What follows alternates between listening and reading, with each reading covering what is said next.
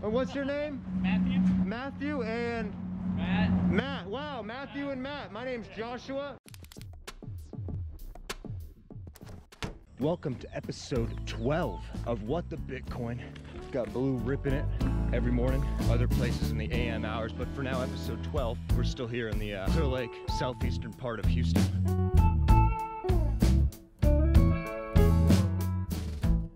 Steve, what do you got to say about Bitcoin? Man, uh, don't know a whole lot about Bitcoin. Do know that uh, it's on the rise. Tesla just tweeted saying you could buy a Tesla with Bitcoin. I believe you can actually buy a house now with Bitcoin. Uh, it's pretty kind of confusing. I wish they would lay it out a little bit better for the for the small guy necessarily. And uh, I don't know. I'm, I'm interested to see where it goes from here. And that's why I tap into the camera and bring in the, the knowledge to the world from society, Steve, Yeah. is exactly what you just said, is that we've got people accepting it for houses, we've got Elon Musk accepting it for his Tesla. So there's progression, but that's still on the large side of the coin, the, the, the, the rich, Yeah. right? Well, we do have small level adoption on our scope, the, the, the layman per se, right? Everybody wants, I mean, even the small guy, we all want to buy low and sell high. I mean, that's the name of the game. If I can get the Bitcoin and sit on it and it, it progresses and, and, you know, you buy $10,000 worth of Bitcoin next year, it's 20K, then hey, that's, yeah. a lot of people are interested in that. So, very good. but, like I said, the small man, including me, is very uneducated about the Bitcoin.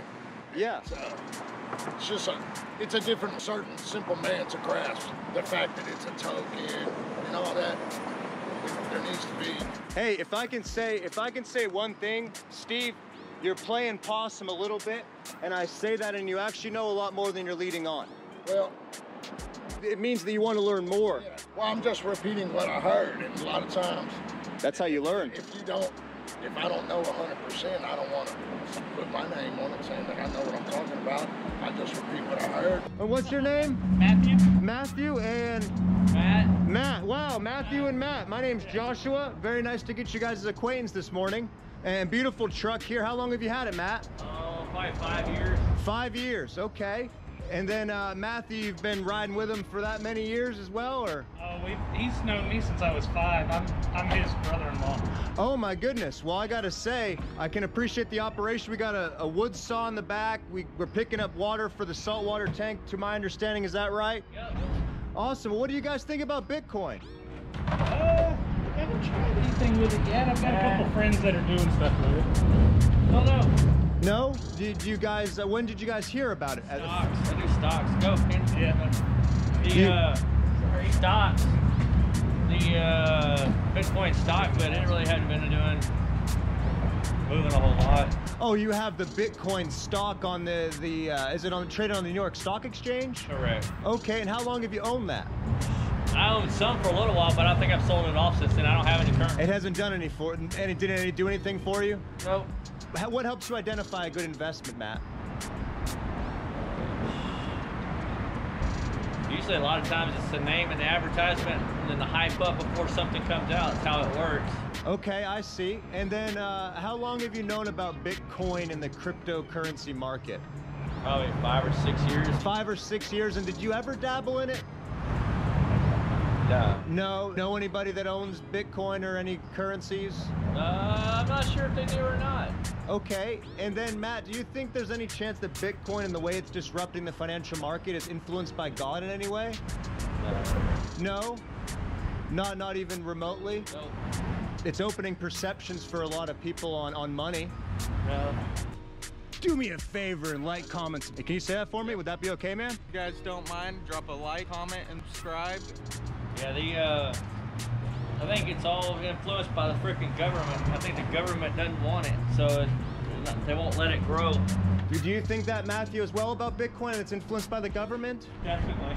Okay, so you guys think it's kind of a scam then, maybe? Or do you think it's a good investment still? Well, I think the government doesn't like it because The they can't government doesn't want it. it, The government doesn't want it. so it's not gonna. They're not ever gonna get to grow it however they wanted to originally do it. Yeah, they're not gonna let.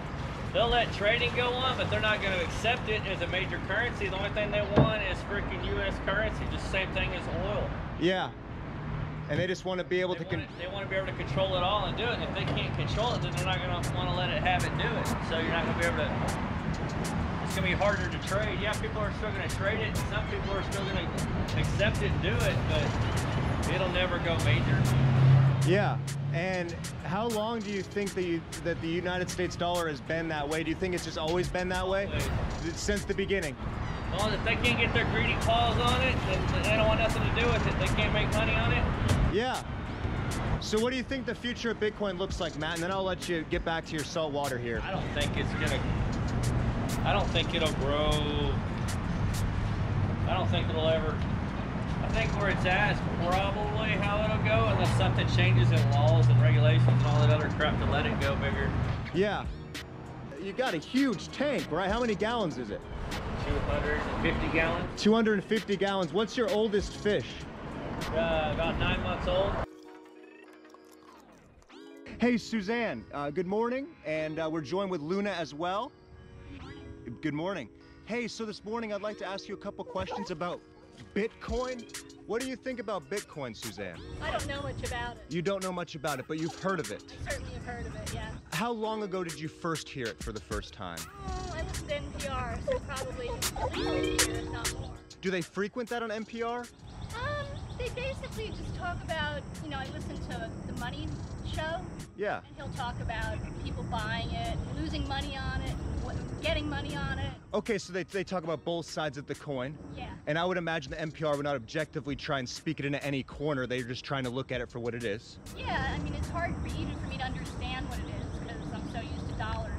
Yeah, and it, it is just a new emerging financial market that is just beginning to find its legs, right? Hey, good morning.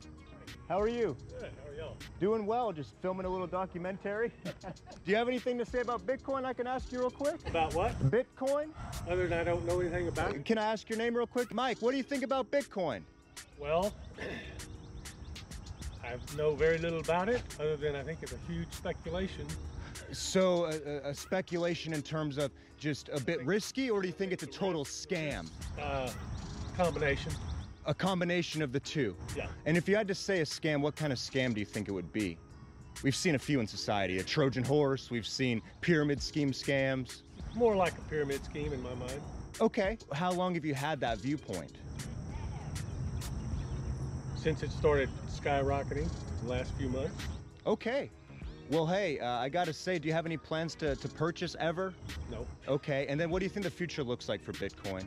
I have no idea. No idea. Hey, Mike, enjoy the rest of your walk. I, I thank you for the uh, improv too. Hey, Suzanne, real quick, just on a parting note, do you have any plans to purchase Bitcoin? No, I don't. Okay, and then, I think it's probably an age-related thing, you know?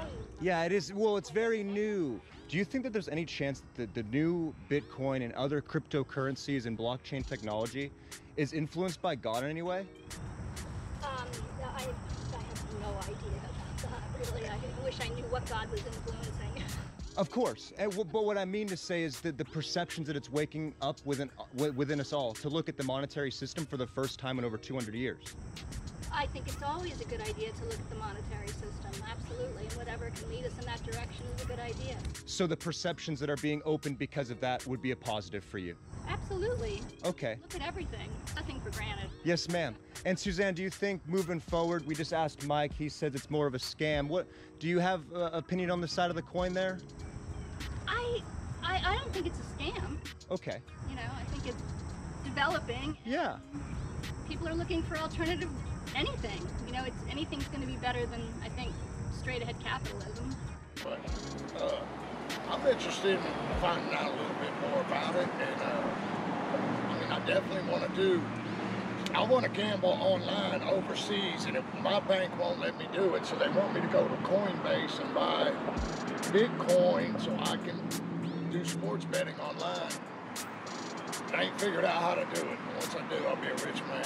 If you're betting on a on a sports arena thing, Yeah. then so be it. I mean, it's legal in the U.S., just not in certain states, which is stupid in my opinion.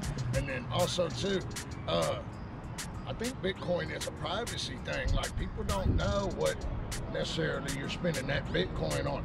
I don't need my bank all up in my information. Yeah. Democrats already trying to take all the privacy, guns, all that shit away. So I kind of like the fact that it's it's private. Yeah. Nobody needs to know. I spend my money Yeah. the way that I want. And that's what brings me to ask my next question. Do you think there's any chance, Steve, that Bitcoin and the way that it's influencing society is God in any way? No, no. And I don't mean that he's taking physical form, Steve. Yeah. I mean the perceptions that are being opened by society. Nah, I think uh, you're digging a little too far. I mean, I'm not digging, yeah, but you see what I'm saying. I just, I'm asking a question. yeah, yeah, I got you on that. No, I don't think in any way that it's it's taking God in any form, that, that spiritually, physically.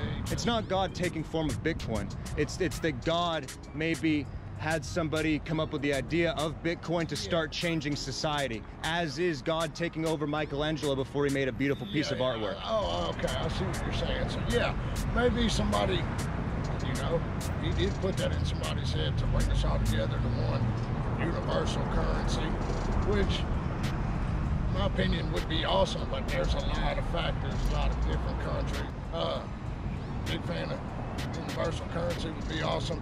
Universal health care to Yeah. a minimum Yeah. would be awesome. Okay. So uh, Definitely. So you think Bitcoin's a good thing positively for society? I do. And Yeah. At the end of the day, I mean, I don't, I don't see anything wrong with it. Yeah. I mean, all I see is good from it. Hey, it's a private currency. It's about your privacy. You can buy a house with it. You can buy a car with it. Yeah. I can buy stuff online. I can do, I can do what I Yeah. want with what I, with my Yeah. money. I don't Yeah. need anyone else to tell me what to do with my money. So I like the Yeah.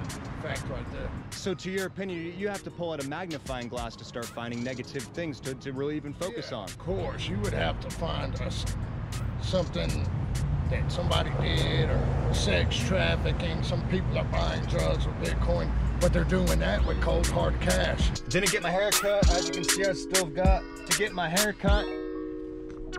Didn't get my hair. I'm gonna edit this stuff out for you guys. Like, comment, subscribe, lock the doors. You know, don't tempt people.